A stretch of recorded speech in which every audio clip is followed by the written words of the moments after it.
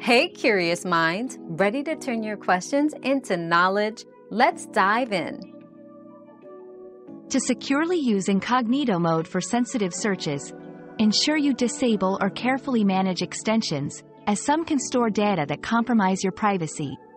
Always close incognito tabs when you're done to erase session information. For enhanced security, consider using a reputable VPN to hide your IP address and encrypt your internet connection. Also, opt for search engines that prioritize user privacy, such as DuckDuckGo, to prevent your search queries from being logged. Your daily dose of discovery ends here, but the journey of learning never stops. Subscribe and join us again for more answers tomorrow.